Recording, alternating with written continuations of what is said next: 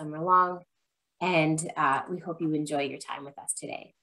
So the Penn Sustainability Office is honored to host two applied student learning programs each summer, uh, the Civic Sustainability Fellows and the Integrating Sustainability Across the Curriculum program. I would like to extend my sincere thanks to Natalie Walker for supporting ISAC and Elizabeth Main for her support on the Civic Sustainability Fellows program. I would also like to thank Anne Papageorge for her continued support for applied learning at Penn. And certainly not least, I share my deep thanks for the faculty and the community sponsors who have worked with us throughout this very unusual summer. Today, I'm going to give a brief, background on both programs, and then we will hear report outs from our students. First, a little bit about the Civic Sustainability Fellows Program. Uh, the Penn's Climate Sustainability Action Plan 3.0 has an explicit goal to support the city's regional sustainability objectives and to provide professional development in real world training, uh, learning opportunities for Penn students. Penn's Civic Sustainability Fellows Program addresses this goal by placing undergraduate and graduate student interns in summer jobs with city agencies and nonprofit organizations focused on sustainability and social equity. In addition to the CSAP 3.0 goal, the Civic Sustainability Fellows Program aims to align to President Gutmann's Penn Compact 2022 by providing the opportunity for Penn students, staff, and partners uh, to be innovative, to be radically inclusive, and to positively impact our local community. These internships focus on specific issues that have a tie back to the Penn community. This year, we have three Civic Sustainability Fellows working with the City of Philadelphia's Office of Sustainability, Philadelphia Energy Authority, and UC Green. Integrating Sustainability Across the Curriculum, or ISAC for short, was established to help Penn faculty introduce environmental sustainability into existing and new courses. The Penn Sustainability Office provides full funding to support, full funding support for graduate or undergraduate uh, summer research assistants who work directly with faculty to update and or create new syllabi, lecture, lectures, assignments, tests, and or tests that incorporate environmental themes. Each student works with two different professors starting in June to allow the students to benefit from exposure to two different faculty members working on two different courses. This year, we had six students working with 10 faculty. And now moving us to the student presentations, we will have the sponsor of each student give a short introduction and then turn it over to the student who will share a summary of their work over the summer. To kick us off, I'm happy to introduce Sarah Light, who's an associate professor of legal studies and business ethics at Wharton. Uh, Sarah, feel free to take it from here. Great. Nina, thank you so much. I will be very brief. I was delighted to have the opportunity to work with Hanam Yoon this um, summer. Hanam was my student last fall in Legal Studies 215, Environmental Management Law and Policy, and was an outstanding student. So I was so delighted when she applied.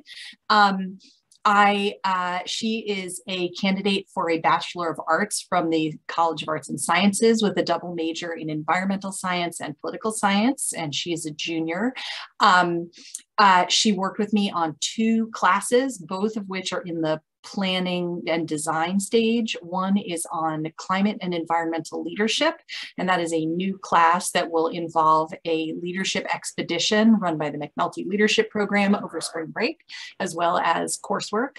Um, and the other is a uh, class that I'm hoping to organize uh, at some point in the future um, that would draw upon uh, um, faculty from many different departments on business climate and the environment. So take it away, Hanam.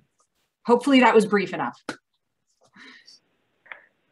Thank you, Professor Light. Um, as she mentioned, I took environmental management law and policy with her. It's LGST 215. I strongly recommend it to any of the students here.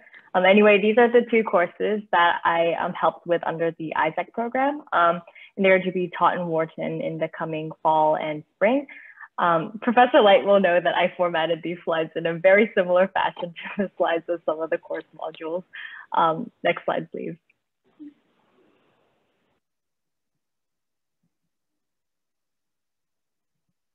Yeah, you might have to keep pressing the arrow buttons. Thank you. Um, so one course I worked on was a comprehensive uh, introduction to the intersection between business and climate change. Um, and the other was uh, about climate leadership, which has a climate expedition trip during spring break built into it. Um, the climate leadership course aims to pretty much interrogate how to encourage um, improve and leverage leadership by individuals, organizations, governments, and business firms uh, for a sustainable future. Um, the goal of these courses is to really boost the understanding of students who will go on to be the leaders and thinkers in various business environments. Um, we wanted students to understand what challenges lie ahead of pushing for a greener future um, and building a greener corporate culture. Um, you know, and how how do those challenges um, how can those challenges be overcome with the right sort of leadership and the right networks with third parties and the right employment of certain laws, policies, and various governance models. Um, we also want them to understand how and why certain firms are environmental leaders and what factors can really prop up a firm to develop into a more sustainable one. Uh, furthermore, we want students to understand how sustainability can act as an intersection between corporate bodies and government bodies. Um, what roles do both bodies play and how can they help each other to develop a genuinely sustainable society? Um, and finally, um, it's important to understand how being more sustainable has a genuine um, positive impact on society at large, um, and that those positive impacts can further improve uh, financial performance and growth at large. And so uh, here are my personal goals. Um, I wanted to know how to accelerate uh, I guess, the sustainable transition um, and understand the important laws, policies, and forms of management that can all make that happen.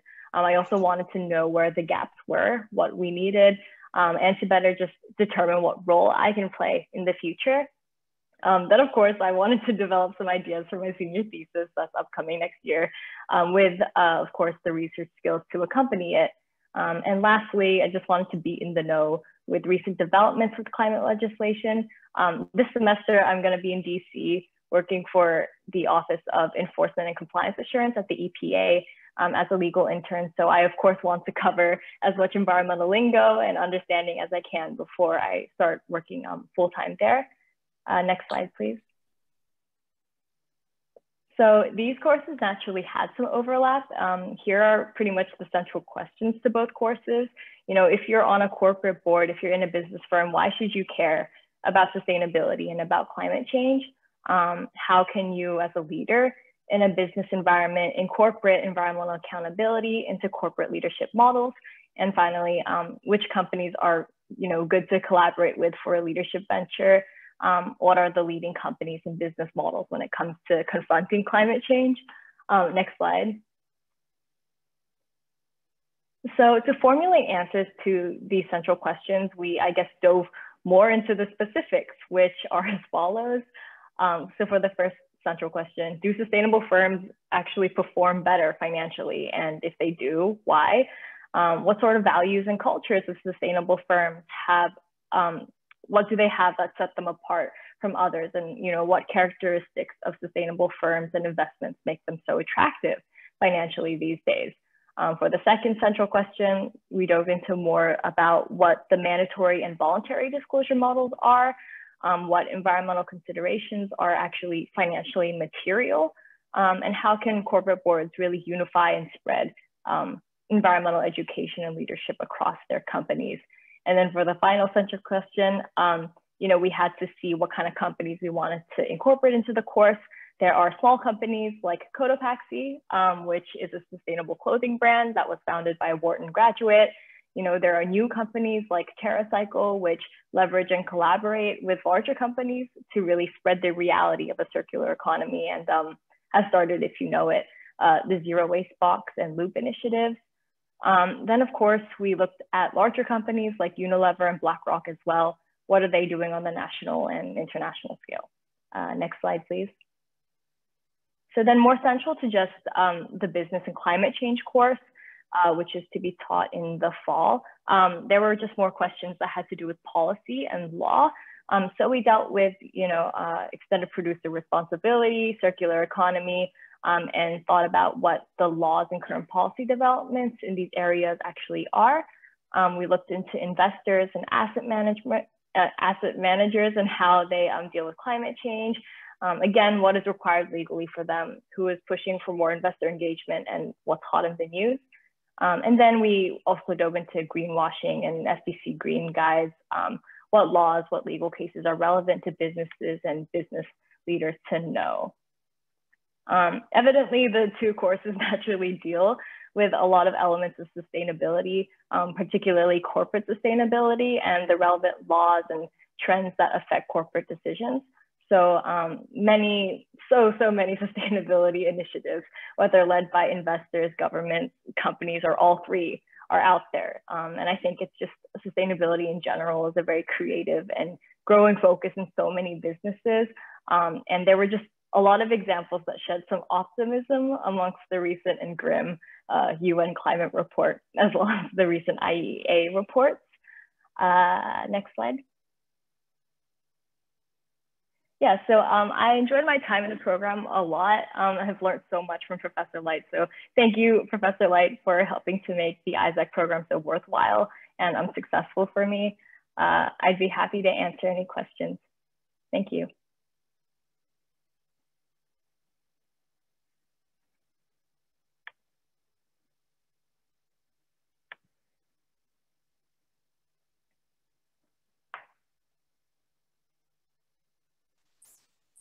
You can feel free to uh, unmute yourself and ask a question now, or if you be more comfortable, we can take questions at the end as well. So if you think of a question, well, you know, later on, feel free to ask that too.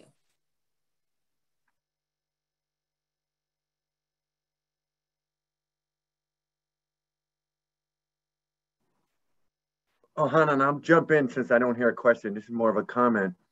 I love what Engine One is doing. They're trying to get people in on the corporate board to make these great decisions. So I don't know if you want to talk a little bit about that. They just had a big vote and they're trying to get ExxonMobil to be more sustainable.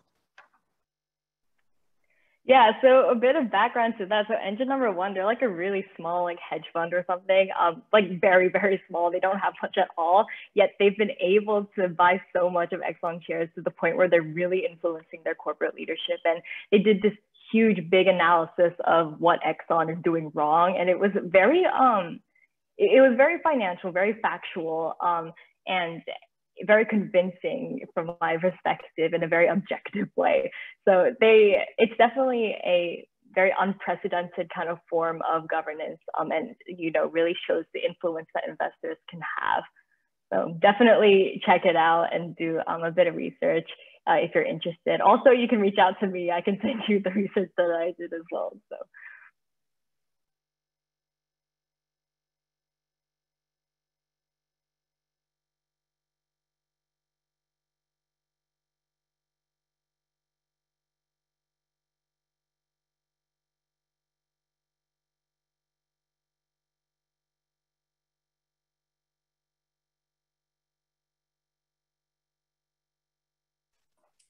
Well, if there are no more questions, then we'll move on to the next session. Again, you feel free to put questions in the chat and then we'll also hopefully have time at the end as well. Uh, so our next uh, student uh, will be introduced by her sponsors, uh, Megan Ryerson and Bill Young. Hi, uh, this is Bill Young. I teach uh, LARP P 760 topics in ecology. Louisa is a junior at the College of uh, Arts and Sciences, majoring in environmental science. Her resume is amazing. I was looking at it like, oh my gosh, she's very talented. Her summer project was to study algal blooms for both carbon sequestration and use as biofuel. And so in two ways, she's helping to uh, save the planet. So that's really cool. And I think she found out at our little preview a couple days ago that Roger Coons, who is a professor who helped on this, is putting her in with the X Prize for Elon Musk for um, how to do carbon sequestration and get carbon out of the atmosphere down to the levels that are sustainable. So good luck, uh, Louisa. Thanks so much, Professor Young, for the introduction. So today I'll be presenting the work that I did this summer as an ISAC intern. Next slide, please. So I worked on two different courses this summer. The first one I'm going to talk about is planning, and the next one is topics in ecology with Professor Young. Next slide, please. So the first one I'm going to talk about, Planning by Numbers, is taught by Dr. Megan Ryerson and her TA, Josh Davidson. So this course focuses on the importance of R for handling big data, both in general and within city regional planning and policy. So through this course, students learn basics of R, but more advanced skills such as data correlation, regression modeling, budget modeling, and big data analysis and mining. Next slide, please. So my work this summer for Dr. Ryerson could be split up into three parts. So the first one is finding data sets, next one, learning R and preparing lesson, and the last one, conclusion and next steps. So because R is all about handling really big data sets and finding ways to manipulate and analyze the, the data, the first step was to find the data sets for students to practice with. And because this course is about urban planning and my focus on sustainability, find free, large environmental related data sets, and they had to be large enough to really show off the power of R. So about like at least a couple hundred to a couple thousand rows. So to the right, I have some sources that I found these data sets with, the Chicago Transit Authority, the EPA, and a few others as you can see. Next slide, please. So these are just some examples of some interesting data sets that I found. So the first one is ridership by bus routes within the Chicago Transit Authority, and this one had about 33,000 rows. And then the next one is air quality index by core-based statistical area, which is basically like a city. This one had a few hundred rows. And the last one, which I found very interesting, was city employee earnings in 2019 in Philadelphia. And this one was really big with about 255,000 rows. And so why are like why is R so useful? So unlike many other coding and programming languages, R is completely free and also open source. So there's thousands of packages ready to install. So this means that the capabilities of R are also always expanding and it's also especially great for graphics. So how did I learn R this summer? There's a lot of websites that are very specific to learning programming languages, which are really helpful. And then there's also an entire free textbook for R. Of course, like almost, like almost anything else, there's the internet and YouTube, which provide a lot of great in-depth explanations about R. Next slide, please.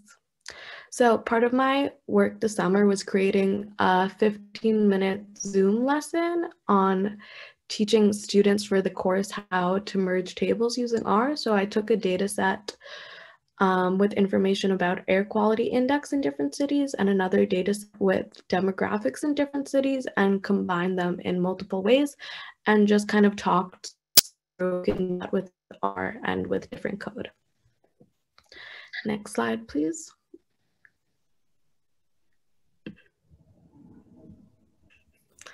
And my work through this summer, I came to different conclusions. So the first, despite all the like free data there is online, there really weren't that many data sets about environmental justice, despite its like prevalence now and its prevalence in the future comes.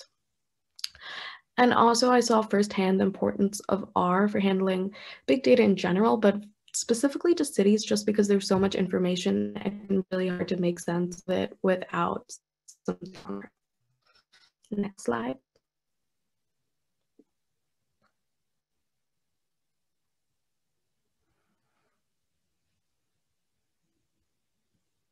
So the second course I worked on was Topics in Ecology, taught by Professor William Young. So this course teaches landscape architecture through ecological concepts. It focuses a lot on the reclamation of disturbed landscapes. And it also teaches some elements of green architecture and design. And to the right, I just have a picture of Cira Green, which is a really popular green roof in Philly. And they're becoming more common now because they have a lot of great recreational and environmental purposes. Next slide. So my work for Professor Yes Summer could be split up into three parts. So land use and sustainability now, carbon sequestration via algae, and the future of carbon sequestration via algae.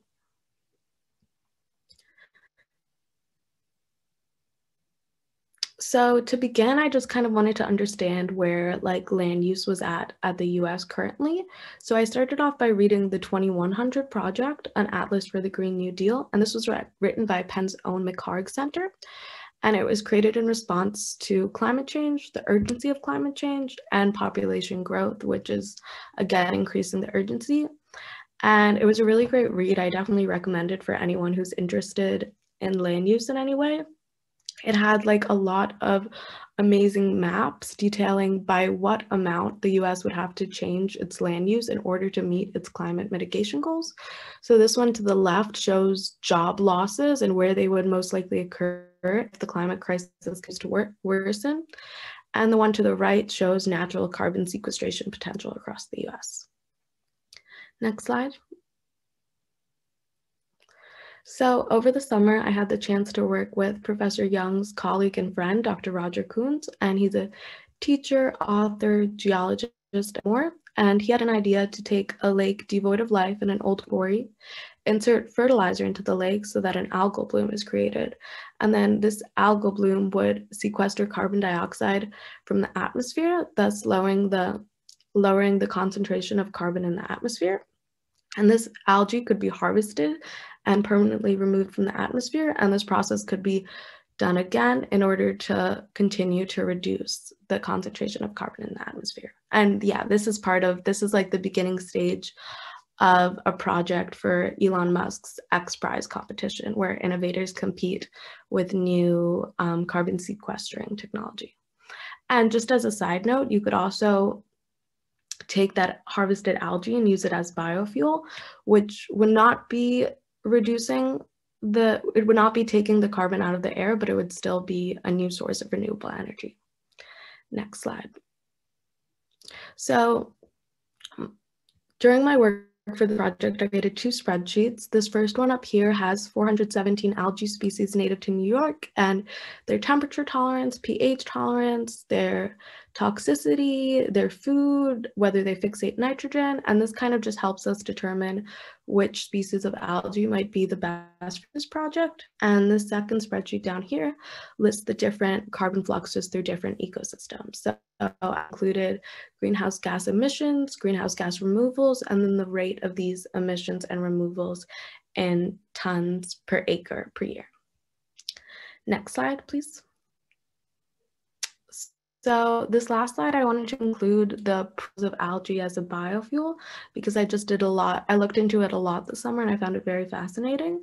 So it has no competition with food, whereas if you use a crop like corn as a biofuel, that's a very big critique because people are starving and you use energy. And it can also grow in a variety of water. So it can grow in salt water, fresh water. It's a high oil, oil yield, which makes it really great for a biofuel. It's one of the only non-renewable sources that's really adaptable based industries like jet or car. It's very CO2 tolerant and it has a very high Calvin cycle efficiency, which terrestrial plants don't really have. Next slide. Finally, I just wanted to say thank you so much to everyone who worked with me this summer and helped me out. Um, thank you, Dr. Megan Ryerson, Joshua Davidson, Professor William Young, Dr. Natalie Walker, and Penn Sustainability. Thank you. Oh, and if anybody has any questions.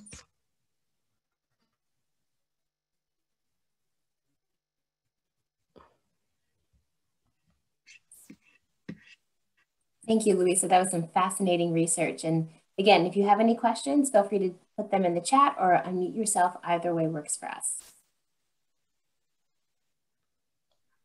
I have a question, Louisa. I'm wondering um, with the algal study, um, whether you considered impacts on wildlife and how that was included in the study. Yes, definitely is an important part of like creating a huge bloom because algae especially in New York, toxic algae.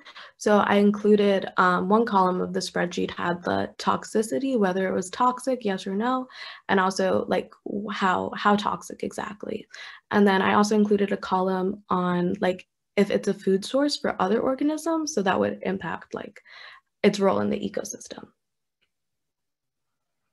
Very interesting. Thank you. Thank you. Great question. Hi, may I ask a question, please? Yes, of course.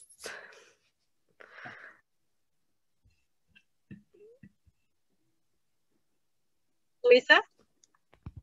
Yeah, hi, sorry. Hi. I might my internet might have cut out. Oh, no, could have been me uh, too. Thank you so much for the presentation and it was an absolute uh, delight working with you.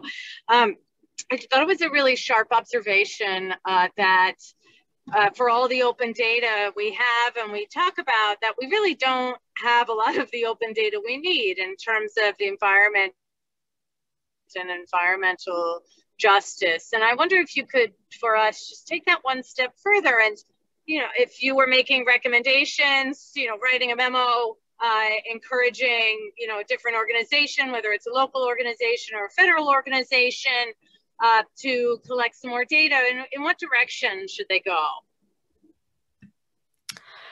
Yeah, so I would say just a, like I'm thinking of Philadelphia, like where we live in Penn, like there's so many environmental injustice, like just in our like block. Like I I'm thinking recently of like high schools that have gotten in trouble for asbestos. So I would say just really like look around to what you see. And I guess if no one else is gathering the data, then I guess try to gather it yourself as best as you can or reach out to people in the community who might have the resources to gather the data.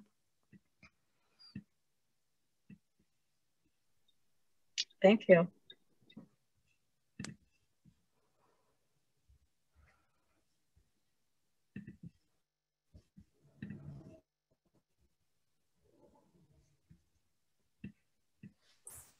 That's such a important point. Thank you, Louisa, for sharing that with us. And yeah, I think this can pique a lot of our, our thinking in terms of how we can be more conscious of the environmental justice data that we can encourage here at Penn and beyond. So thank you for that. Um, so any other questions for Louisa? If not, we're going to keep moving forward. Oh, Josh, go ahead. Louisa, also want to say it was awesome getting to work with you uh, this whole summer. Um, wanted to sort of build off of your response to Dr. Ryerson's question. What about like the tools that you used? Like how how do you think that the tools that you learned could be used to do that sort of local data collection differently from uh, from, from tools you hadn't used before the summer? Great question. Yeah. So over the summer, like in my process of learning R, I focused a lot on merging different data sets of data. So that is an amazing way that I would think you can really find the data you need because I'm thinking about the air quality index data set that I found. So it showed like how many days were bad in different cities, but then it doesn't, if you could combine that with the data set of maybe the poverty rates or the um, average earnings for each family, that would be a really great data, a great way to pull different data that might be connected that we previously wouldn't have seen the connection of. Thank you.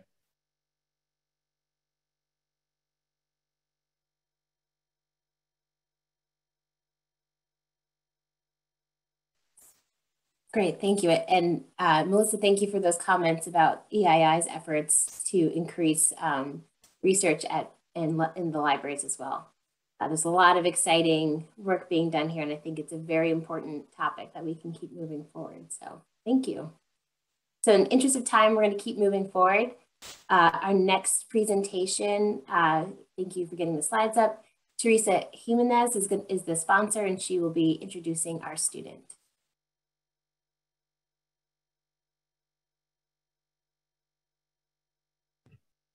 Hi, everybody. So, um, Alessandra Pintado and I work on the course Sustainable Development and Culture in Latin America. Uh, this course um, advocates for the for culture as the fourth pillar of sustainable development, uh, because culture study the study of culture as both as a resource and a constraint to sustainable development has been pretty much ignored among environmentalists and has only been recently, recently been identified as the fourth pillar of sustainable development. Among sustainability scholars, who consider that sustainable development is only achievable if there is harmony and alignment among the objectives of cultural diversity, social equity, environmental responsibility, and economic viability. In order to get to this, um, we, because we're placing a big emphasis on culture, we needed to um, dig in into a lot of literary text uh, written by um, indigenous peoples uh, that were have never been translated, only thanks to technology have been translated to English. But other than that, we had no way of, um, but not in, in, in other languages. Um, so um, Alexandra, Alessandra is a um, native of, she speaks, she's a native of Spanish. She speaks Spanish at, at the native, native level in, in, in, English as well. She has a major in, she's, she's a major in linguistics and a minor in German. So this was a great asset for the needs that, of, of the course. And she has done an outstanding job in translating back and forth text from, from English into Spanish and vice versa, because this course has been taught in two different languages. We had a section for English speakers and one section for Spanish speakers where are either, they could be either native speakers of Spanish or majors and minors of Spanish. So I'm gonna let Alexandra, Alessandra talk about her work um, on this course. Thank you so much. Yes, so uh, my name is Alessandra Pintado Urbank. I'm a rising junior. As Professor Jimenez said, um, I am studying linguistics and German, um, and my father's from Spain, so I grew up speaking Spanish, and so I'm at the, the native level. Um, next slide, please. So this course is called Sustainable Development and Culture in Latin America. And it really emphasizes the importance, as Professor Jimenez says, of culture within the realms of sustainable development and specifically in Latin America. And so um, I believe it's also a global seminar course, which um, yep. I'm not sure it's happened in the past two years because of COVID, um, but it also includes a one week immersive experience in Costa Rica where uh, students are able to see um, the unsustainable farming practices in the cult cultivation of um, the co coffee product. Um, and we also focus just on looking at sustainable development through the three different perspectives of environmental and economic and a social and cultural um, level. And as Professor Jimenez said, it's also offered in Spanish. So I had the really cool opportunity to translate these texts from English to Spanish and from Spanish to English, just to allow students who are majors and minors or who are native speakers to um, take this, you know, complex course within um, the Spanish language. Next slide. So my main um, work plan and goals for this summer uh, was obviously translating reading materials. We did focus on three main, we chose uh, fictional stories, which is um, the indigenous text that have never been translated before. Um, but we also um, worked on translating articles, texts, and um, I worked a little bit on translating um, captions for a video documentary. I was also able to develop some discussion questions and homework assignments, um, again, from English um, in English and Spanish, and um, assembling some uh, PowerPoints for in-class presentation and for lectures. And for me, um, my main goals uh, for the summer were to just learn more about the Latin American culture and its intersection with sustainable development, um, and really dive into uh, those texts that have, um, you know, rarely been been seen before in English, and learn more about that culture. Next slide, please. So uh, the three main stories that we focused on um, are traditional Huichol stories. So if you didn't know, uh, the Huichol people are indigenous people um, in Mexico, and um, they speak Spanish as well as the Huichol language. So a lot of these texts were actually in Spanish, but had a lot of vocabulary in uh, the Huichol language, which I do not speak. So an interesting part of translating these texts were finding um, what these, uh, you know, vocabulary words were, and then trying to translate them into Spanish and then also into English. Um, and another interesting thing uh, was that when you're translating these poetic stories that talk about the earth and about how to appreciate, you know, the crops that uh, that these people grow, um, they're very uh, they're certain nuances that are difficult to, to translate into English and certain expressions. So that's something that I really worked on this year because um, I speak Spanish, obviously, in you know the context of my family um, and sometimes in school. But um, translating, you know, these stories and, and fictional stories uh, was something that I've never done before, and was something that was really enlightening. And um, and I definitely saw my improvement in being able to translate uh, fiction throughout the throughout the summer. Um, and so the main focus of these stories, sorry, um, is as I mentioned before, really um, talk, talking about the divide between the mestizos and the um, people. And so uh, the people who are still in the village and the people who have migrated over to the city and understanding the differences in how they, um, you know, discuss the land and how um, they think about the earth and um, the cultivation of crops and of food. Um, and also just, you know, the divide that there is between um, these um, indigenous people and you know the more modern, I guess, uh, people who have moved into an urban lifestyle. Next slide. I was also, um, as I mentioned before, I translated um, some captions for a uh, video documentary. Um, and so this one in particular is um, the Fiesta del Tambor, which is the um, festival of the drum. And so it is an agricultural festival um, about, uh, that talk, you know, celebrates, I guess, the um, seasonal um, the seasons and the crops that um, that the villagers um, cultivate, and it's kind of like a, a new cycle of of the of the land and of the crops. And so, what was interesting with this is that I speak, uh, as you you know, as, as you may know, um, just like in English, everyone has their own accent and their own um, dialect. And so, um, in this particular one, it really uh, worked on um, you know training my ears and, and focusing on little um, pronunciation of, of different words that were different to my own you know uh, Spanish language. And so this was um, a very fun project for me to to work on learning about a different type of, of Spanish language, I guess. Next slide. And finally, the, um, the last main um, translation project that I worked on was um, this text by, uh, it's actually a speech by Alan Garcia Perez. He is the president of the Republic of Peru in 2011. And um, this is an article, uh, a speech that he um, gave um, in October of 2007 and I translated this speech over to English. And this this was interesting because um, first of all, it's more of an academic text than the Huichol stories that I translated. Um, so again, it's a different um, format for my translation skills of translating a text with a lot of um, difficult uh, language and new vocabulary words that are um, sometimes um, you know a little a little difficult to translate. Um, and but what was what i really wanted to focus on here was trying to uh, give the students who were taking the class in english and in spanish the same um, kind of format and, and style of the text. So um, again working on translating um, sentences in very similar format and, and you know ensuring that it was the same um, the same experience for both students who were taking it in the different languages.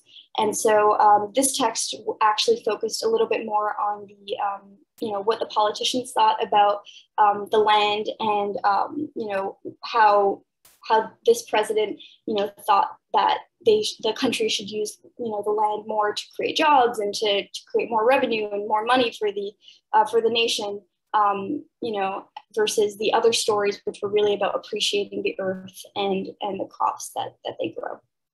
Next slide. So it's, you know, the general connections to sustainability, um, of course, you know, the representation of um, culture and sustainability uh, within the Huichol stories and the, and the Huichol tradition and culture. I learned a lot about that. I didn't really know um, much about the Huichol culture, um, but it was very interesting to see, you know, their appreciation of um, and their categorization of the gods and of how they appreciate um, the earth in their in their own way. And then also within the questions and the uh, PowerPoints that I developed that I didn't include in the slideshow, we also talked about uh, the three different um, main um, crops, I guess, um, the peyote, the coca, and the, the coffee that um, Professor Jimenez focused on within her course about shaping, you know, the modern identity of Latin America today. Um, and again, with it, with, within that, learning about the unsustainable uh, farming practices within these products. Next slide. Uh, finally, I'd really uh, like to um, share a special note of thanks to uh, Professor Jimenez. She really, she was wonderful this summer um, in, in, helping me and guiding me throughout this work. Um, it's something that I've never done before. Um, and I can say now that I, I feel pretty confident in, in translating uh, all different kinds of texts and, and styles of, of writing. Um, and I, I, really appreciate ISAC for giving me this opportunity of, working uh, with her this summer. So I'd love to take any questions if anyone has any or at the end.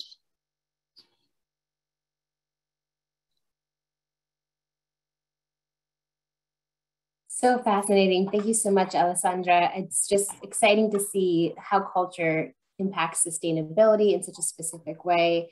And the findings from your research is, I'm sure, going to have long-term impacts. So thank you so much. We are getting kind of tight on time. So we're going to, if people have questions, um, feel free to put them in the chat and then we'll try and get the, to them at the end, um, just so we can keep things rolling. But again, thank you so much. That was very near and dear to my heart. So thank you. Um, okay, we're going to move on to uh, our next presentation. The sponsors for this uh, student are Shelly Spector and Billy Fleming. Hi, folks. I'm Billy. I think I'm introducing because I, I, know Shelly was having some computer issues this week, but um, I, will just say quickly uh, what what a pleasure it's been to get to know and work with Sydney this summer. Um, and in addition to really wanting to thank Nina and Natalie for their leadership of ISAC, also really want to thank them for pairing me with Sydney, who was just a phenomenal, um, you know, student to have on this summer with me. And so Sydney, Sydney's and C's uh, chemistry and biomolecular engineering major, so already much smarter than I am. Um, and this summer really threw herself uh, into both some really highly technical and highly theoretical scholarship with me, um, looking at some of the ways in which the prison industrial complex and the fossil fuel industry um, sort of come together and merge in their operations in a couple of sites that I teach uh, in, a in a design studio here called Designing a Green New Deal. So in Appalachia and the Mississippi Delta. Uh, in Appalachia, looking specifically at the abandoned mine lands program and its use as kind of a vehicle for the prison building industry in that region and in the Mississippi Delta in the former plantations and still some current plantations and their their role as sites of kind of conversion into the larger carceral state of the, the rural South. Um, and so with that, I will throw it to Sydney and let her tell you some more about uh, the work she did this summer. Thank you so much, Professor William, for that introduction. Um, as he said, I was working with him over the summer, and I was also working with Professor Shelley Spector. Um, and so I will start off by um, the course that I was working with uh, Professor Shelley Spector, which is Art in the Environment. Next slide, please. So this is a visual arts course taught by Professor Shelley Spector, which explores the place of art in the environment and how those ideas have evolved over time and influenced the practice, practice of artists and their understanding of the contemporary world. Um, as it is the intersection of environmental sustainability and artistic practices, it is our hope that those who do this particular course are from a variety of different disciplines, schools, and backgrounds as its relevance cuts across numerous fields. Um, so at the end of the course, the students will understand the global, political, and um, social impacts of artistic outputs. Next slide. So the course content could be divided up into a number of different components, some of which I have listed here. Um, so my work over summer basically included putting together and analyzing some of the art pieces and art projects, um, as well as readings that will be used in the class, a few of which I will be taking you through today. Next slide. So geoglyphs are a type of land art that consists of a large design inscribed into earth, stones, or gravel. They were mainly done in the prehistoric eras, and so there's a lot of mystery surrounding them. They have, however, provided to be um, great cultural and social significance today. Next slide. In the 18th and 19th centuries, artists would portray the enormity and turbulence of nature and how humans have responded to it in their artwork. Edmund Burke explains that feelings of terror, like those brought about by these paintings, are stronger in operation than the feelings of pleasure, hence their great impact. Next slide. In the late 18th and 19th century, artists began to take notice of and document the changing environment caused by industrialization. So there were different responses by uh, various different artists, some of who were critical about the changing landscape, and uh, some of who found beauty in the symbols of modernity. For example, this piece by um, Armand Guillaumin. Next slide. So in the 20th century, Agnes Denes planted a two acre wheat field in lower Manhattan. The wheat was supposed to symbolize uh, mismanagement, waste, world hunger, and ecological concerns, and was intended to draw attention to these more pressing matters. So this field, as you can see from this picture, provided a very stark contrast against the towering buildings of Manhattan and was deliberately chosen as a landfill created where the Twin Towers were built. Next slide. We also looked at investigative living, where some artists rethought our way of living, such as Andrea Zittel, who developed this unit, which takes up only 60 square feet of space and provides for all the basic needs. Minimalism was also a common theme in her other work. Next slide. So some artists strive to raise awareness, such as Aviva Rahmani, who uses her art to preserve land endangered by fossil fuel infra infrastructure. So in this slide, um, she painted a blue slurry on the trees and uses the art copyright law to protect the land from pipeline developments. Next slide. This is her again. Next slide. So some curators put the indigenous at the center of American arts. Many artists are using the art to represent the value of the indigenous people, as well as criticize the actions of those that displace them. Next slide. So this particular project here was in response to the installation of the Dakota Access Pipeline, which would threaten the water source of those in the Standing Rock Sioux tribe. Um, so those demonstrating against the construction of this pipeline held these mirrors either overhead or in front of them to not only act as a shield, but also to show the oppressors a, a reflection of their own violent actions. Next slide. So lastly, we looked at circular economy in the art world. Um, here is a picture of John Sabraw, who is an artist who collaborated with engineer Guy Riefler to turn pollution such as toxic runoff composed of iron oxide, from abandoned coal mines into non-toxic paints and pigments. These pigments were released and sold by the companies and the profits went towards cleaning up polluted streams in Ohio. Next slide. Lastly, um, I will talk about how sustainability is integrated into the course. So um, this course um, not only showcases the artists, museum, and galleries um, that are thinking about sustainability, but it also provides an opportunity for the students to individually and collaboratively um, use these themes to create artwork. Um, the students will be assigned to create work that is in keeping with the concerns of the impacts that we have on the environment. In the spring of 2022, a shorter version of the course will be integrated into critical issues in art, which is also a course taught by Professor Shelley Spector, and a full-on studio class will be proposed for the fall of 2022. Next slide. So I will present my next course, which I worked together with on with uh, Professor William Fleming. Next slide. So what is the Green New Deal? The Green New Deal is a set of goals introduced by Representative Alexandria Ocasio-Cortez and Senator Edward J. Markey. It aims to not only tackle the issue of climate change and the environment, but also social, economic, and national ones, such as reducing economic inequality and job creation. To that end, um, the research this summer has been centered on analyzing some of the systems in Appalachia and how these systems fit into the agenda put forward by the Green New Deal. It is a continuation of the fall 2020 course, Designing a Green New Deal version 2, as it narrows down some of the key um, assets and workforce considerations in the region of Appalachia. So my work over the summer was to put together and analyze the materials that will be used in the course. The materials fall into these three main categories, which I will be going through in detail in the next couple of slides.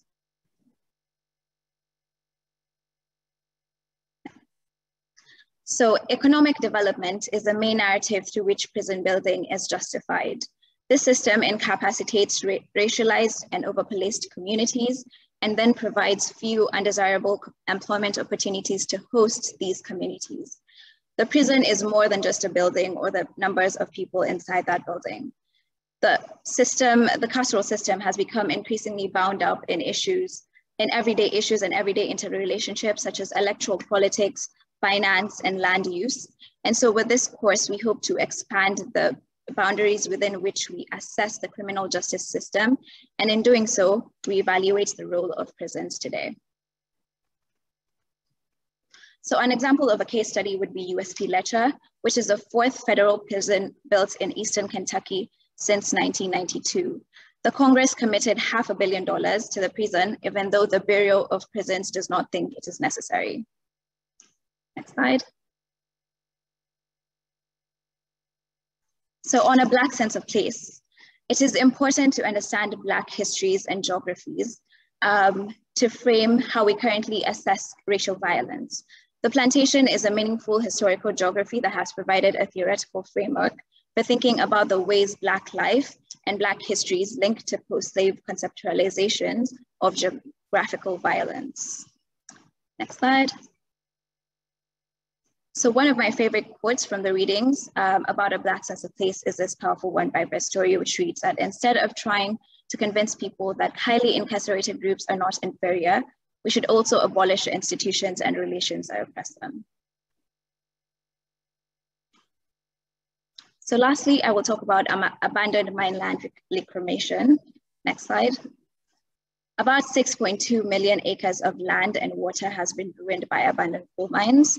Um, and so in 1977, the SMCRA was passed by Congress in order to reclaim the damage caused by mining prior to 1977.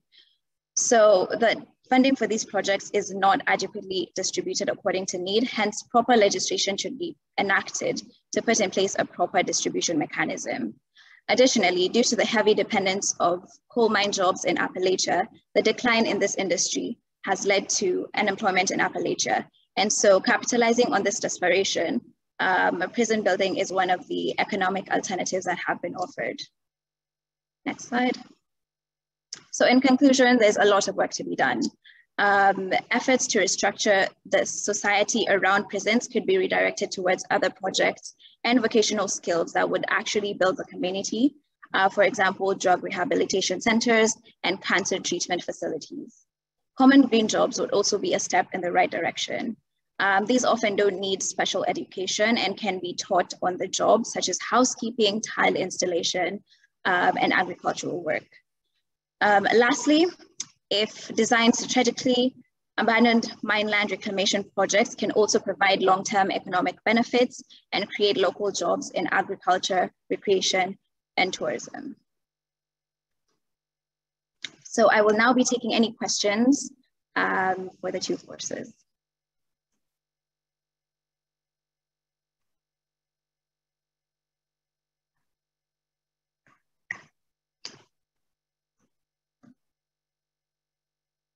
I can also take questions in the chat as I put forward my acknowledgements to Professor William Fleming and Professor Shelley Spector uh, for working with me this summer, as well as Natalie Walker, who has been a great help in navigating ISAC this summer. Thank you. Thank you so much, Sydney. Both of those projects were extremely fascinating um, and what a, a, variety of work you got to work on. So thank you for that.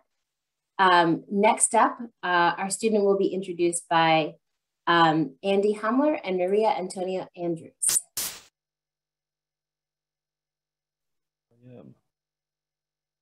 Okay, thank you, Nina. Um, first off, uh, I want to thank the Sustainability Office for their support of an ISAC intern uh, this summer. Uh, there's a chance I've had more ISAC interns over the years than anyone else, but I want to say that uh, the work done by Macy Stacer uh, this summer, uh, Macy's a sophomore in political science and environmental studies. The work that he's done for Maria Andrews' uh, urban air quality course and my energy education in Philadelphia schools course, I think is going to have a real long lasting impact, not only for integrating sustainability into the curriculum of those two courses on the Penn campus, but for integrating sustainability into the curriculum of many, many high school science uh, classes across the university.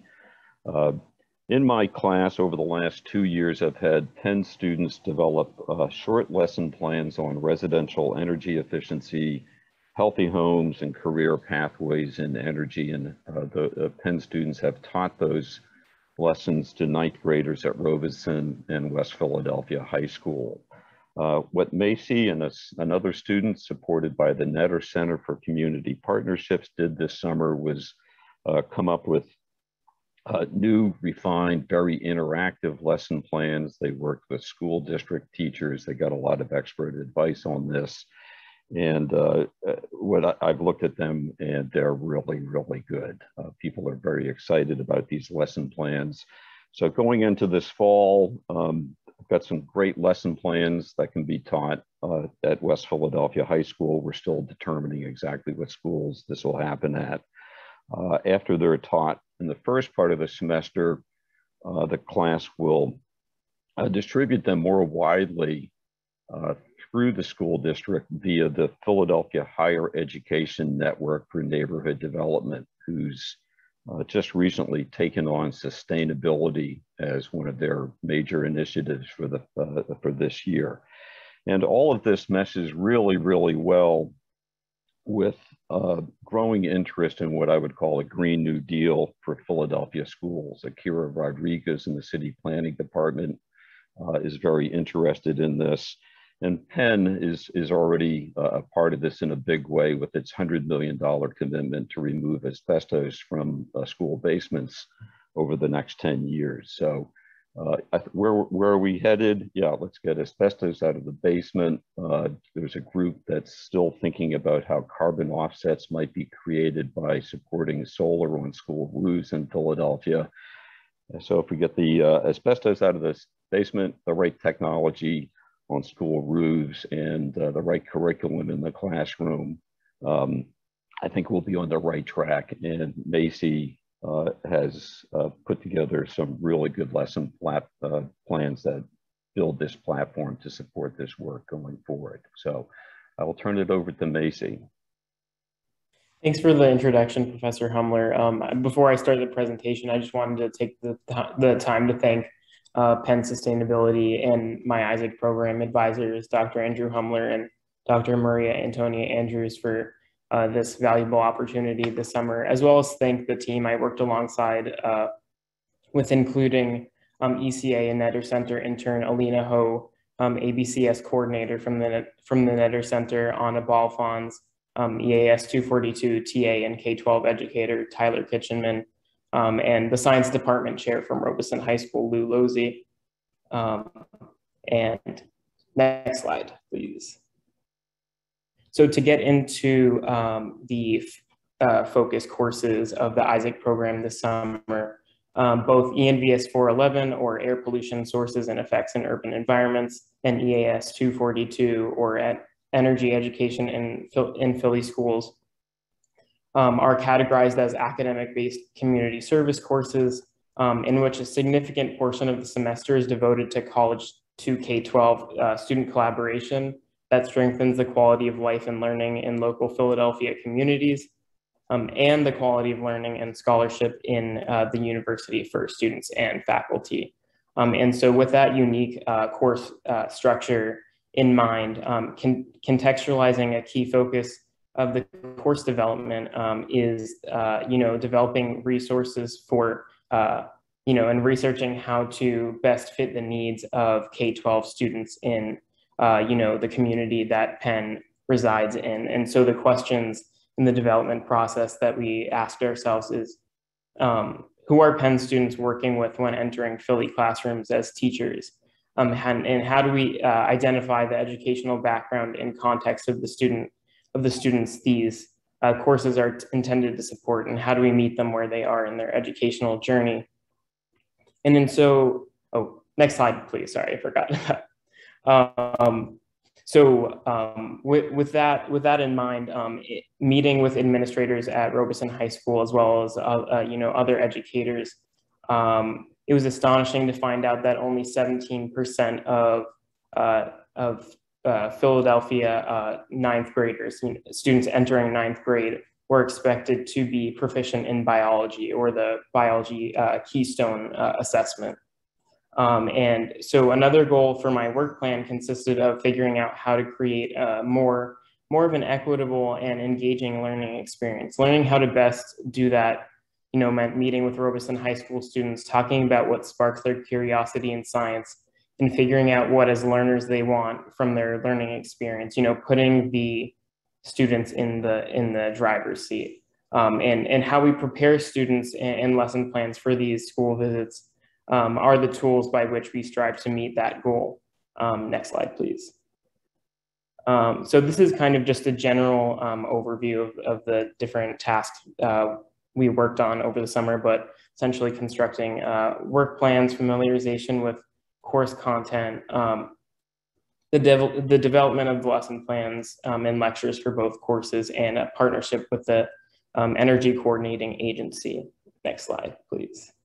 Um, so to get uh, a little further into the work plan, um, you know, there was a differentiated process with ENVS 411 um, having the work for the summer having less of a focus on the ABCS uh, portion of the course, um, but rather revamping, redeveloping, rewriting um, readings, resources, discussions, and lectures assigned to the students in the ENVS 411 uh, course um, in, you know, in preparation for the uh, work that they'd be doing in classroom with fifth graders about anti-idling, uh, you know, car campaign um, and asthma lesson plans. Um, and for EAS 242, um, packaging lesson plans to be used by Penn students during their visits to Robeson High School and as a resource provided on the ECA website um, for any teacher to pull from to enhance or provide their students with activity-based energy education. Um, next slide, please. So, uh, you know, you may be guessing um, why I have a picture of my air conditioner on this slide, um, but researching concepts uh, while working as an ISAC intern applied and continue to apply to my personal life as well as inspired many of the lesson plans and lectures I developed for both courses. And so for the first few days of the program, my new apartment had no air conditioning in scorching uh, New York City summer weather. And so while researching and learning more about course concepts to be better equipped to develop, to develop new content, I ended up learning about how to reduce the air exchange rate and cool and prevent cool air from exhausting my apartment um, and you know ways to limit the amount of indoor air hazards especially as someone with asthma myself uh, next slide. And so in in that with that in mind as well um, you know it may appear to be a, you know a surprising statistic uh, but you know, on average, uh, Americans spend more than 90% of their time indoors. And while a major purpose of the indoors, whether that be homework or elsewhere, is to provide safety um, and comfort from the risk of that outdoors, there are also risks to human health because of the confinement of the air volume within a given enclosed indoor environment. Risks increase because of the greater quantity of time indoors during COVID, especially, and a topic that had overlap between both courses surrounded the maintenance of a healthy balance between good insulation in homes to keep energy bills down and promote, promote sustainability and retaining uh, enough ventilation to prevent persistent and chronic inhalation of indoor air contaminants that we expose ourselves to every day. That includes uh, VOCs from uh, cleaning products to uh, disinfectants, air fresheners, etc. Um, next slide, please. Um, so uh, you know, around the topic of sustainability, an important facet of such is the incorporation of environmental justice and how harmful and unsustainable practices have historically harmed people. Um, and this is especially vital of the discussion in a service learning course tailored towards the West Philly community that Penn resides in and whose young students are the focus of the course's engagement. And so discussion around environmental health disparities um, in which often people of color and low income families face higher rates of illness in death than more well-off communities. Um, and with one in four, um, you know, uh, Philly uh, youth having asthma, Philly students are disproportionately impacted by unhealthy homes and health, health-wise and educationally. And so this is a really important conversation to have um, in, in, these ABCS courses to truly engage with Philly K-12 students in a manner that isn't simply contractual, but um, mutually beneficial and learned experience. Um, next slide. So these are um, just like images of the lesson plans, um, but essentially, I, I, know I don't have much time left, so um, we develop activities from indoor home asthma audits to an energy efficiency activity with uh, different types of light bulbs um, to an energy flow and energy um, um, infrastructure um, activity with uh, Skittles and um, so a bunch of cool things that I wish that I was doing in um, in in in K-12 school. but yeah, I mean, I, I guess I should open uh, for questions because I don't have enough time to finish the rest. But um, these are just images of, of the activities demonstrating concepts like heat transfer, energy efficiency, uh, budgeting, and construction science.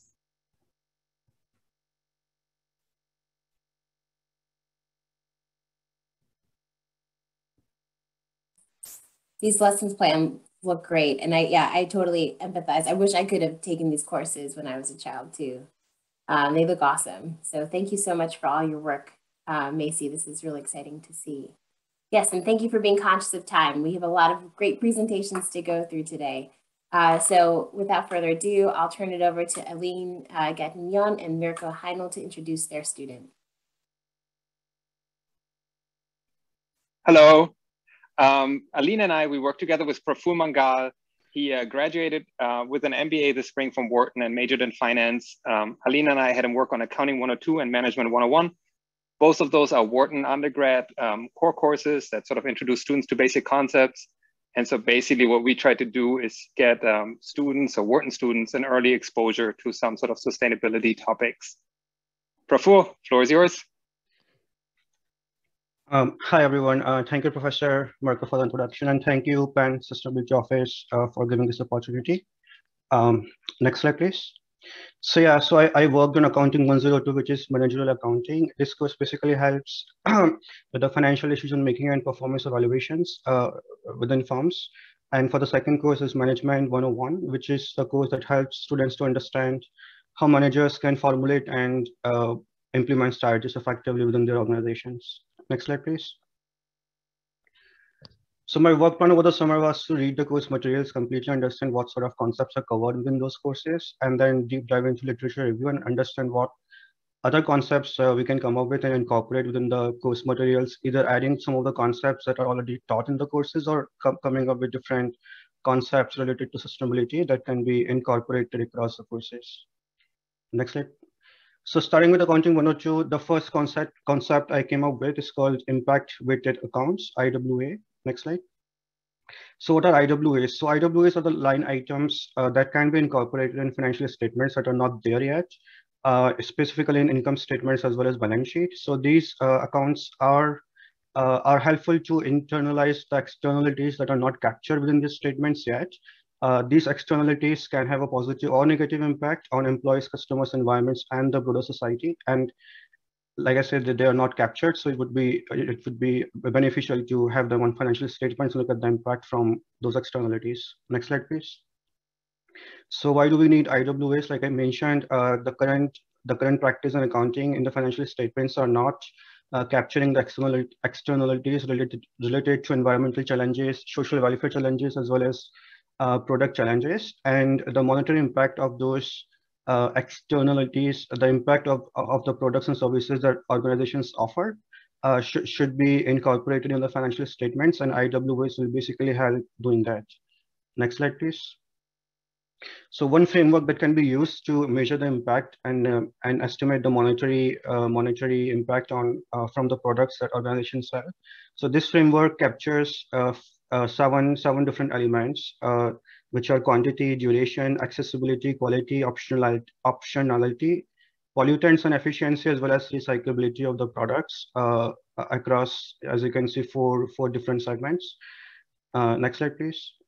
Uh, in the interest of time, I won't go deeper into, into the framework, but this framework can be applied across different industries and geographies. One of the example here you can see in the table, uh, the framework is applied on automobile companies. In the first column, you can see the different uh, seven impact dimensions from quantity uh, up to recyclability. And the second column tells you how the what formulas can be used to estimate the monetary impact of each uh, impact uh, dimension and what are what could be the different data sources uh, that can help you to to understand to figure out the data required to to to estimate the monetary impact.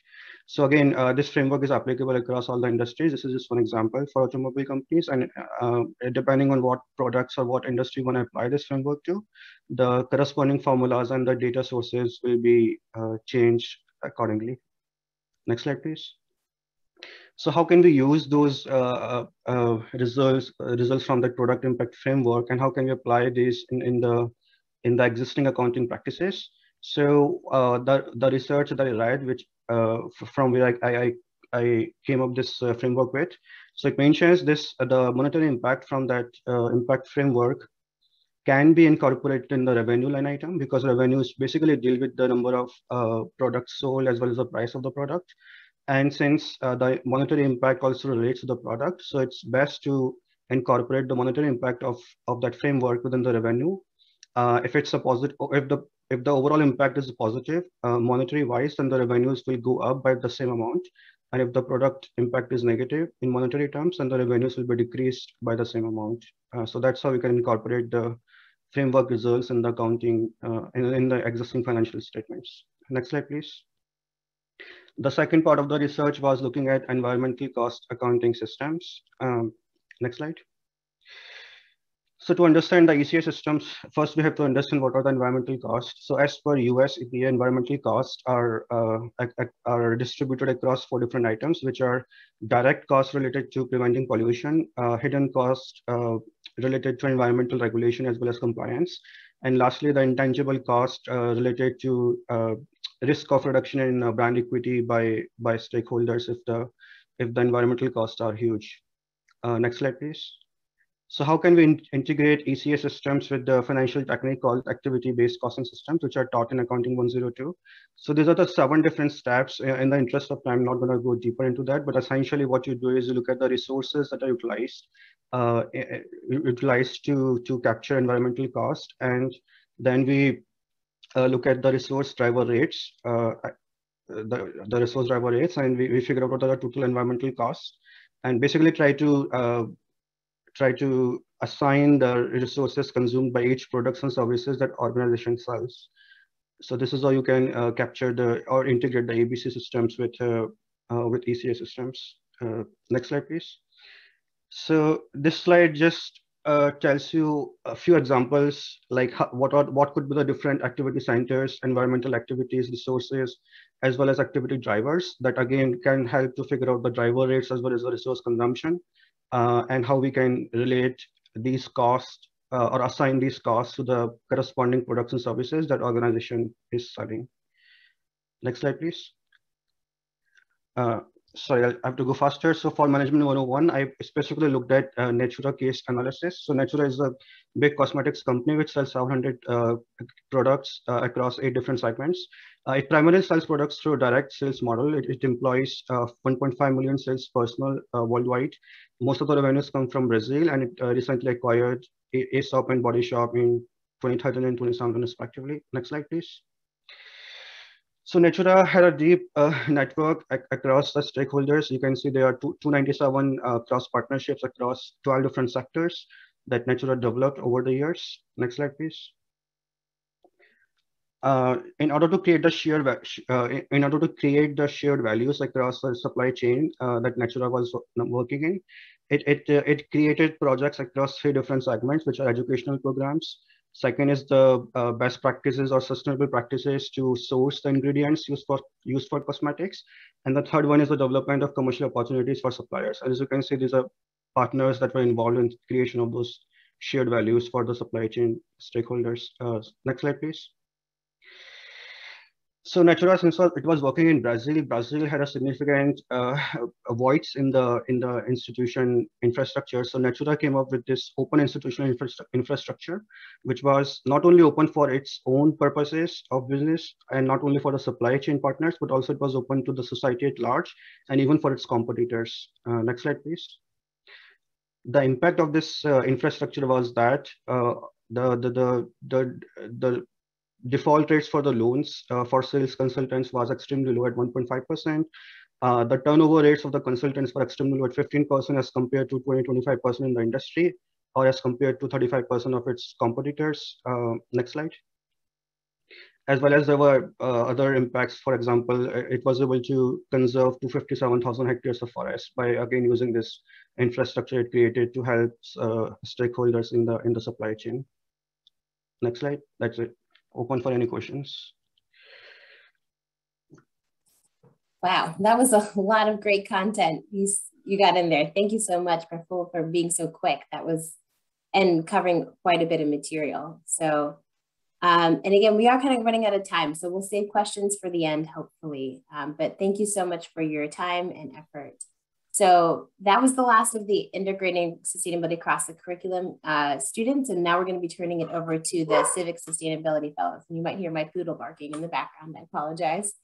Um, so uh, the uh, first um, uh, civic sustainability fellow will be uh, presented by their sponsor, um, Helena Rudolph from the city of, the Office of Sustainability for the City of Philadelphia.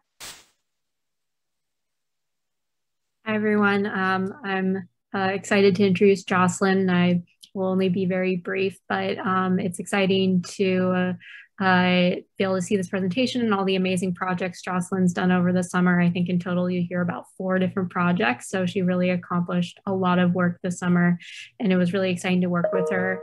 Um, I was previously a civic sustainability fellow myself, and so uh, it's really fun to you know go full circle and uh, I'll, I'll definitely miss Jocelyn when she leaves us next week. So I'll hand it over to her.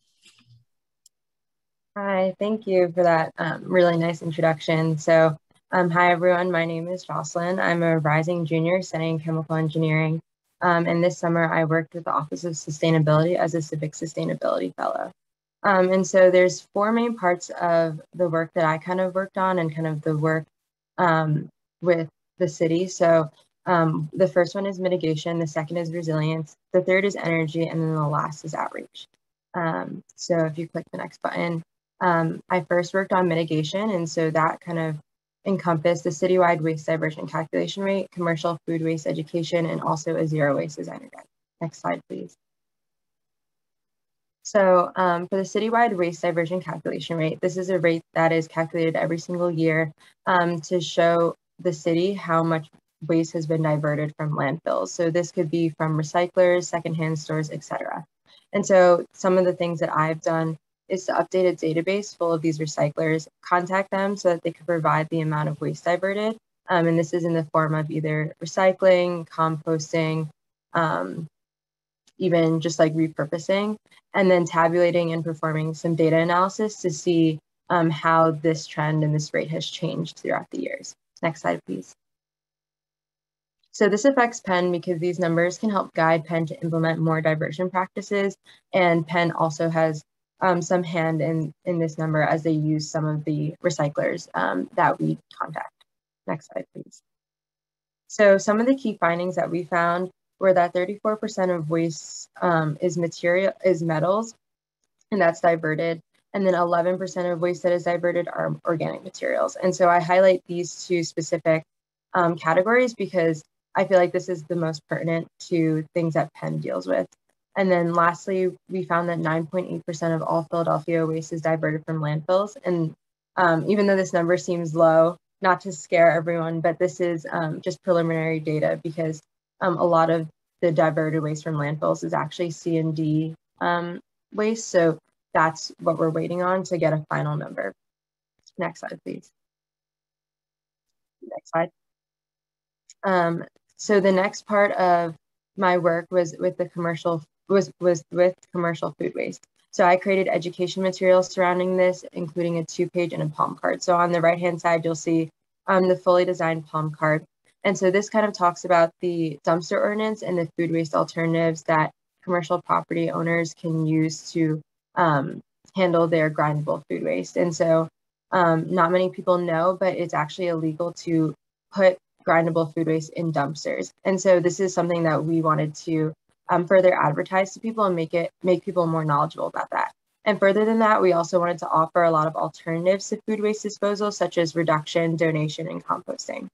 And so the last part of my work within this was to identify some key metrics um, so that we can help uh, measure the progress of the materials um, by working with the streets department to uh, give out these materials and then also make sure that people are complying with the city ordinance. Next slide, please.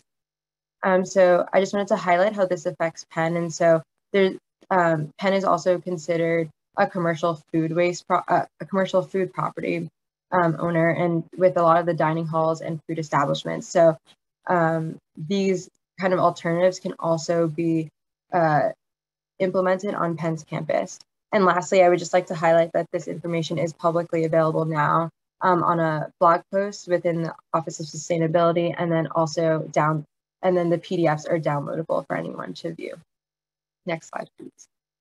Um, and so lastly, within the realm of mitigation, I've been working on the Zero Waste Designer Guide, which is a 20-page guide for Philadelphia designers to implement to implement zero waste practices.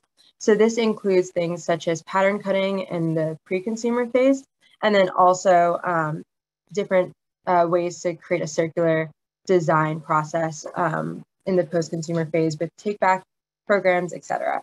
And so to do this, I did a lot of research on the best practices and also interviewed a lot of local Philly designers who implement these sustainable practices um, within their business.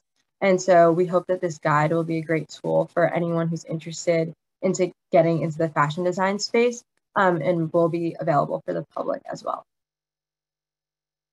And just to highlight how this would impact Penn, um, I would consider implementing a course in sustainable design within possibly the design school, um, specifically within textiles. And I think that this would be a great resource. And then also just allowing this information to um, be shared with aspiring artists and designers at Penn. So secondly, I want to talk about my work with resilience um, within the Office of Sustainability. And so this looks in the um, realm of, of food activity for the Hunting Park Summer Camp, and then also support on the food and climate resilience within the office. Next slide, please.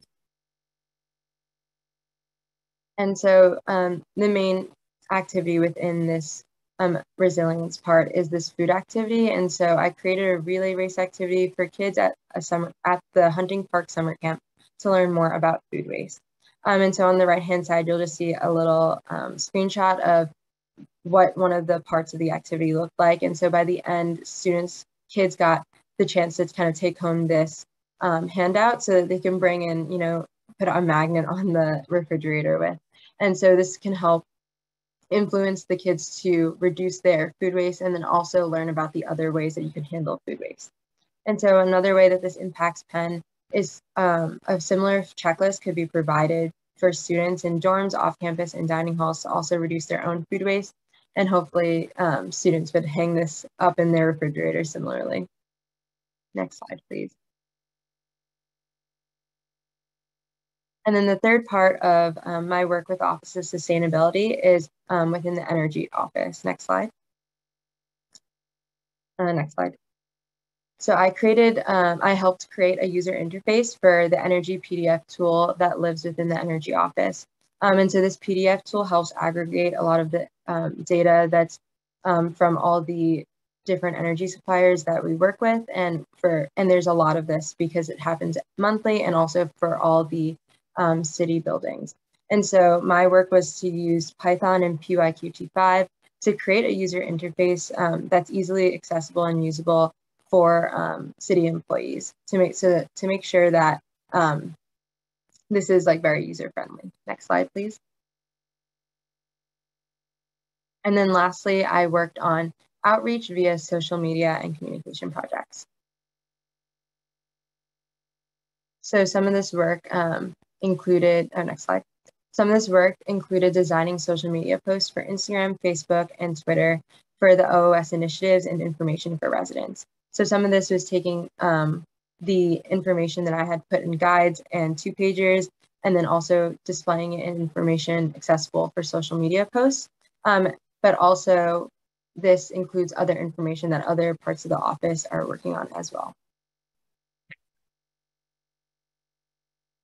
Um, and overall, that's all that I worked on this summer. And before I end, I would just like to give a big thank you to Penn Sustainability for their support this summer, and also the Office of Sustainability, their amazing staff, and especially my Hel- my manager Helena um, for all of her guidance and support this summer.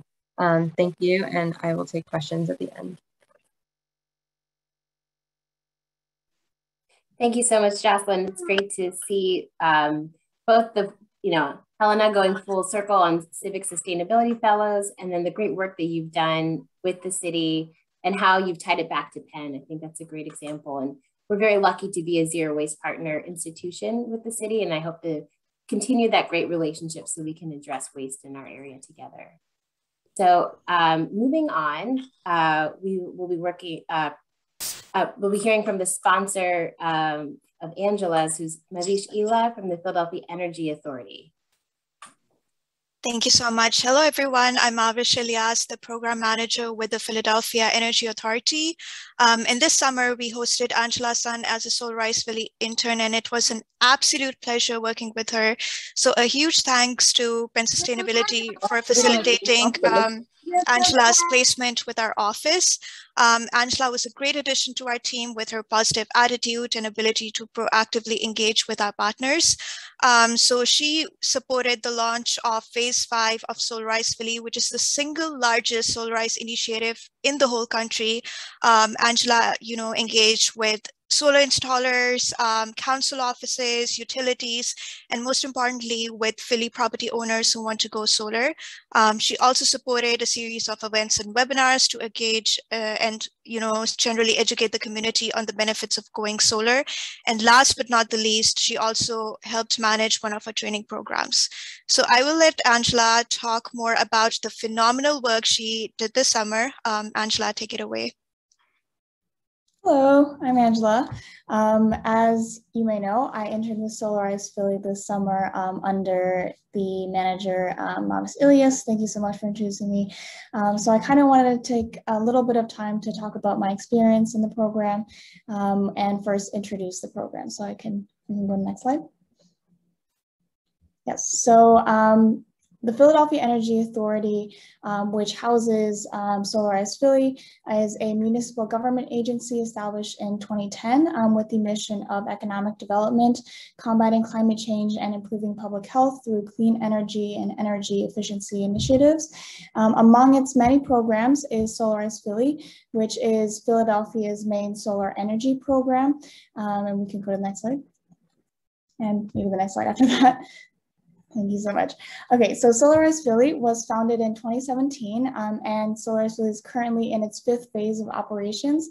Um, one great thing about uh, the program is that it is the largest program in the United States of its kind, um, with over 6,500 signups in phase four alone, um, as well as 750 um, Philadelphians already having signed a contract to go solar, um, with most, most of these projects being installed to date, as well as over 12 million invested into the Philadelphia economy. Um, so I was an intern in the program um, under Mavis Elias, who is here today. Um, and next, I'll take a little bit of time to talk about the internship itself. So Yes, thank you so much. Um, so my internship lasted from uh, May 2021 to August 2021. During this time, I mainly assisted with the launch of the new phase of Solarize Philly, um, which actually began earlier this August, which is really exciting. Um, and this new phase expanded on previous phases by growing to incorporate new financing options, um, including a lease option, as well as a new commercial solar option and finance structure um, for this for the first time. So some of the tasks that, or activities um, I was involved in in this, um, in this phase was organizing materials for our installer RFP. Um, so that's the request for proposal and pre-approving our um, contractors for the uh, contractors for the new phase, as well as customer calls and um, getting people signed up for the new phase. Um, and lastly, or not lastly, but also supporting the Solar Week webinar series during our um, Solar Week, which occurred earlier um, this August from the 16th to the 20th.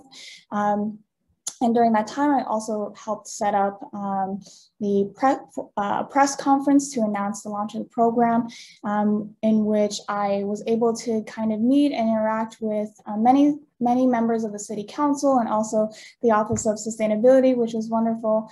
Um, and in um, supporting the program as well, I um, conducted research for data management. So really um, finding ways to work closely with our installers and manage data in a way that is effective between parties. Um, and um, when needed, I was also called out to help on the PEA, Philadelphia Energy Authority's uh, workforce development program, GRIT, which actively promotes green career opportunities to Philadelphia youth. Um, in GRIT, I was primarily involved in outreaching to potential employers of graduated trainees. Um, this year, we had a total of seven um, graduated trainees, and we so far have managed to match six out of the seven trainees, um, which is um, a great deal of progress, and that's very, very exciting. Um, and uh, in that task, I was able to um, outreach to employers, add contacts, and also schedule meetings um, to meet with with um, with these employers. Um, and then we can go to the next slide. And so during um, or through all these projects, one main thing that I greatly appreciated was being able to connect with people of all backgrounds and, and um, diverse communities. Um, these included community members and homeowners who wanted to go solar, um, solar companies, local small businesses, and also artists and activists that wanted to highlight solar in our community through their art, um, utilities, third-party providers, um, as well as Philadelphia Council members and members of, of the Office of Sustainability. Um, and the I truly appreciate being able to see how vibrant and active the solar community is, um, even through the pandemic. Um, the enthusiasm there was was inspiring. So, and then we can go to the next slide. So a few um, internship takeaways um, can be broadly categorized into number one, um, most of all, learning about sort of what concerns and priorities existed in the community, not only revolving around solar, but also um, more generally. So it had come to my attention that while many Philadelphians are motivated by um, a social goal to combat climate change.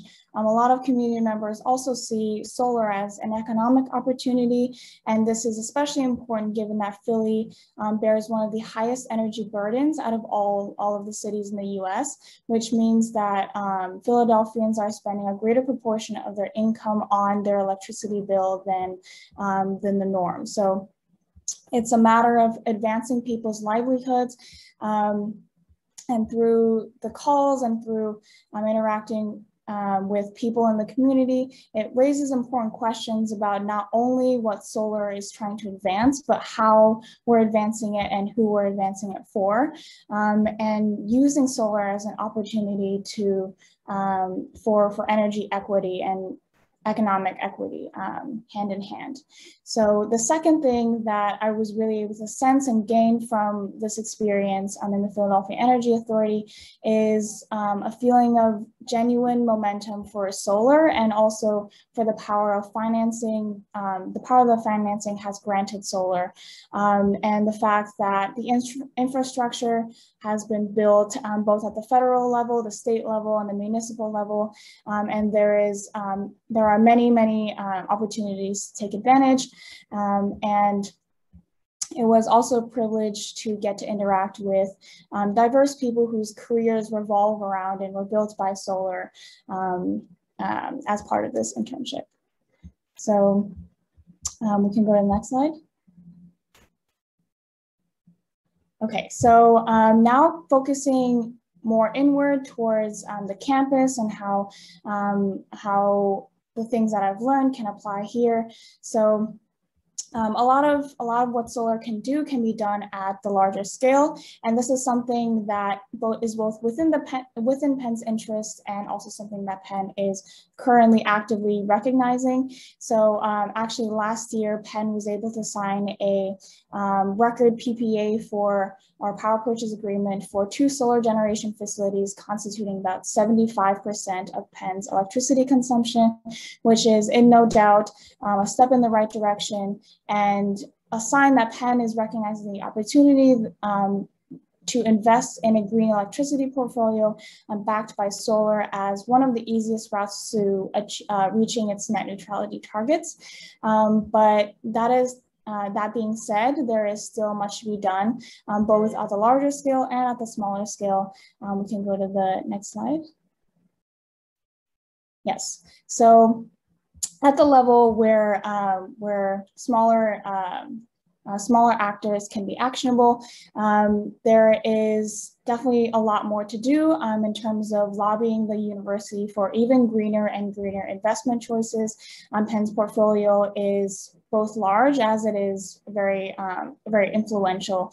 Um, and so um, even as students, um, we can advocate for uh, more greater investment in renewables, not only just for campus, but um, on a larger scale um, and greater investment in energy technology. Um, and the second is perhaps smaller, but even um, uh, no less important. So the second is educating the community about the robustness of solar, um, and the sense of, sense of momentum that I that I mentioned uh, beforehand um, really comes into play here. Um, often, students and also uh, members of the community um, they um, um, a lot of the effects of solar are not quite as visible, um, and yet it makes such a great economic influence in our community. Um, so um, granting people the sense that this is a great opportunity to um, great opportunity to further further solar um, for both the individual and and at large is very important. and then last slide is just acknowledgements. Um, oh, yes, thank you. Um, acknowledgements, I want to acknowledge my um, project manager, Mavish Ilias, for providing me this wonderful opportunity, um, and I will take any questions.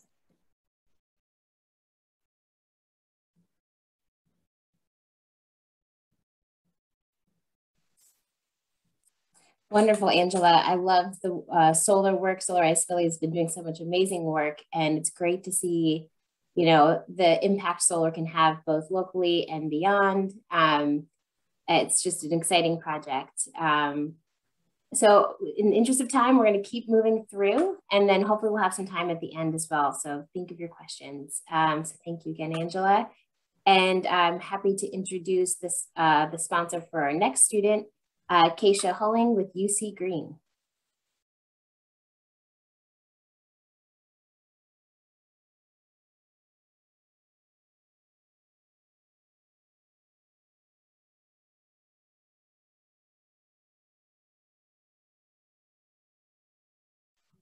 Uh, is Keisha here?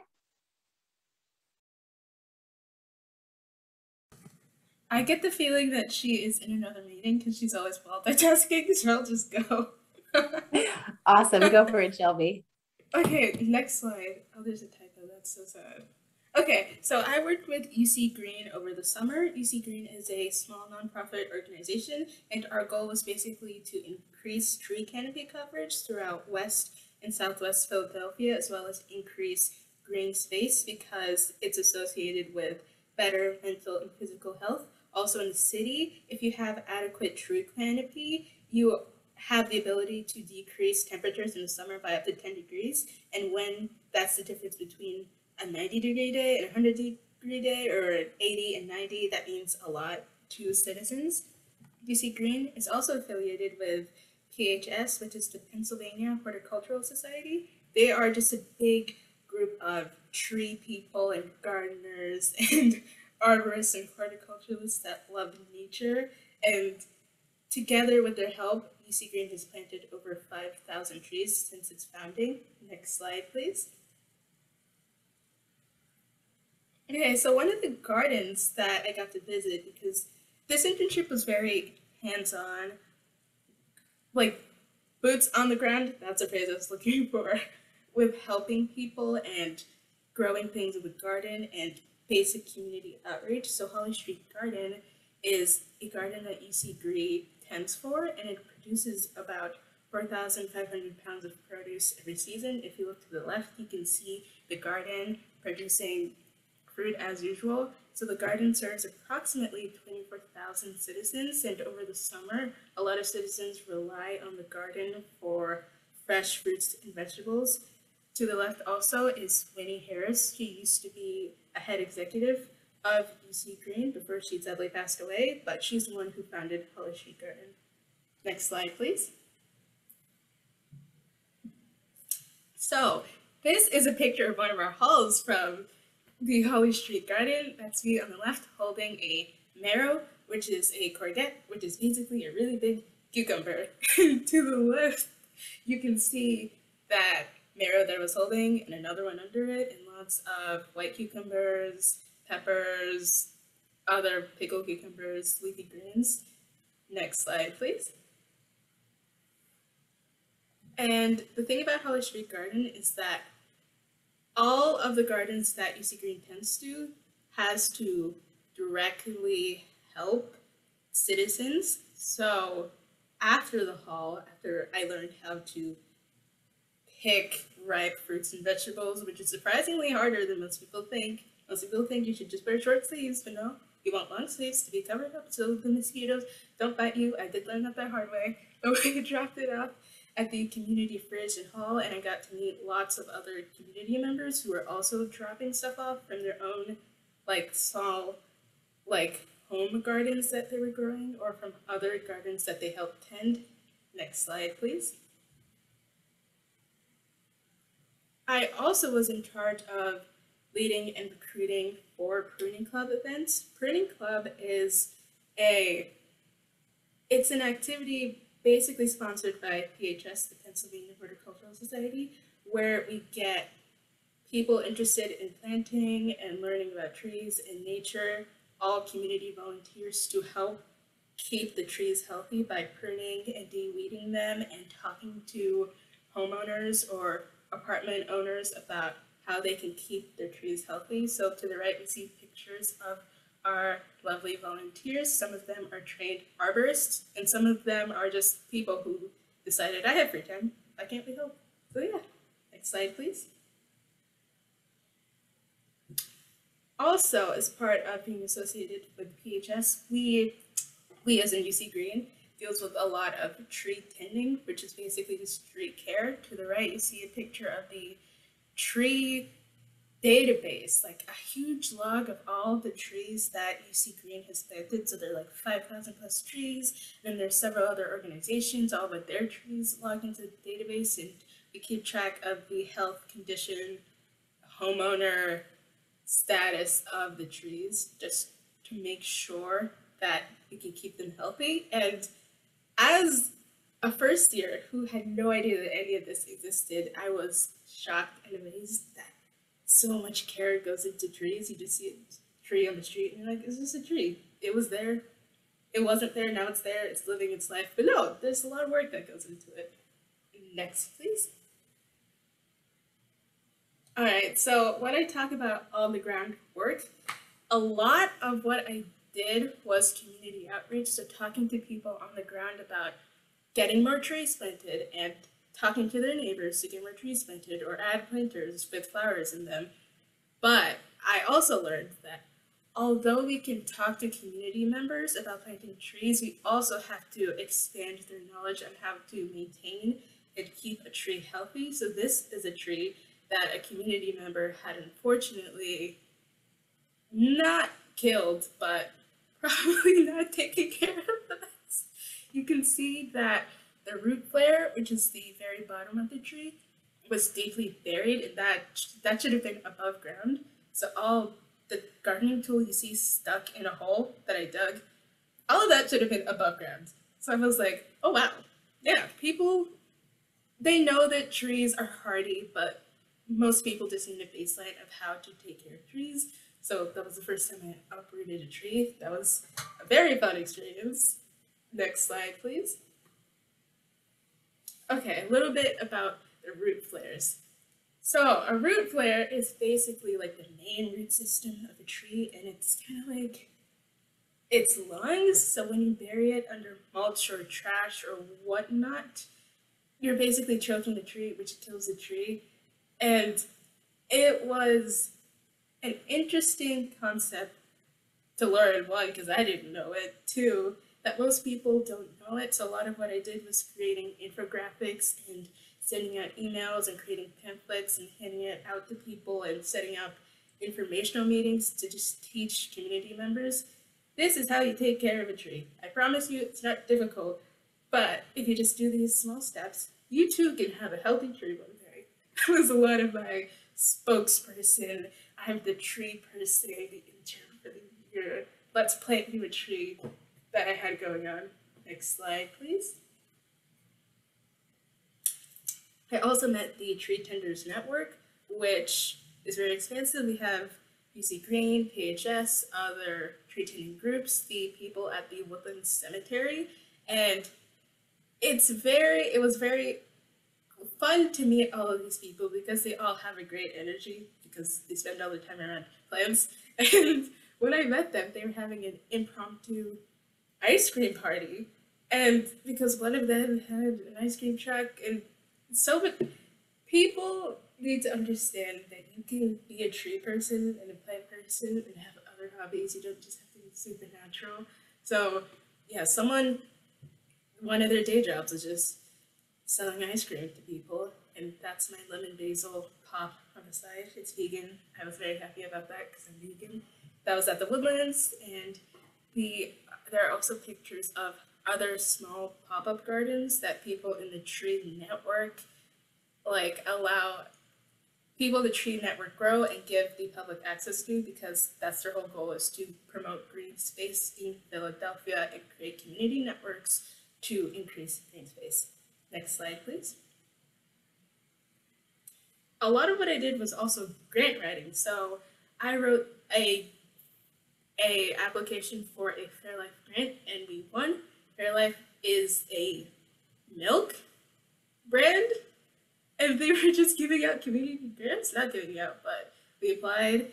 I wrote it. It was the first time I wrote a grant and it was a very interesting process of writing and rewriting and reading research papers and adequately integrating information and rewriting. And apparently I did a fairly okay job at it because we won the grant. And then recently I was working on the Philadelphia Anti-Violence Community Attention Grant for a larger program, which would be Green Ambassadors, which is targeting people 18 to 24 in high crime areas like Simpson Street because increasing tree canopy significantly reduces crime rates, like a 10% increase in tree canopy is correlated with a 12% decrease in crime, and a 1% increase to green space in an area is correlated with a 4% decrease in anxiety and other mood disorders.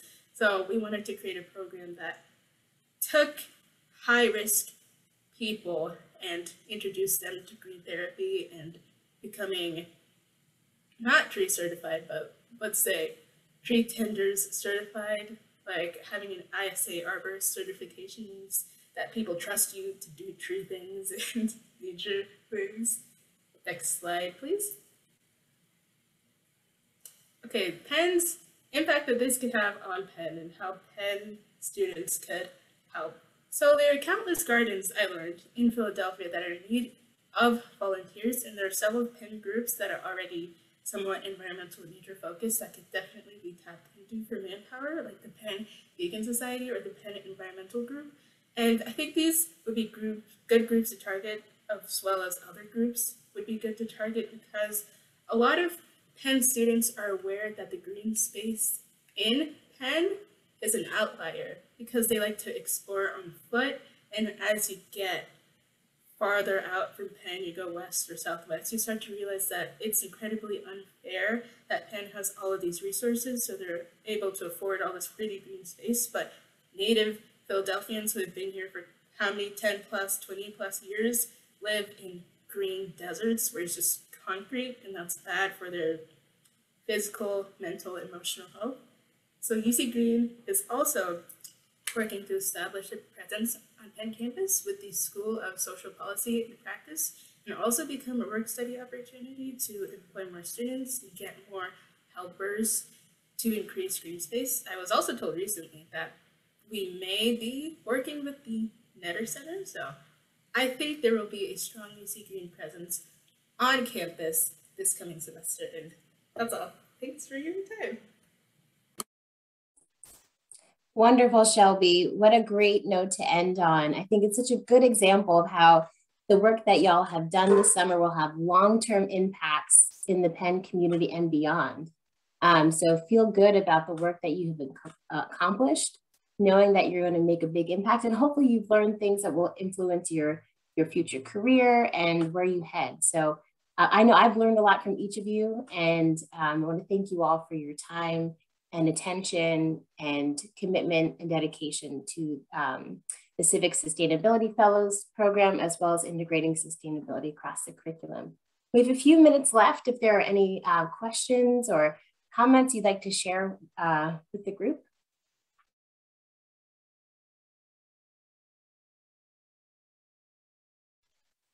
If not, that's okay too. We're always happy to end a little early. So.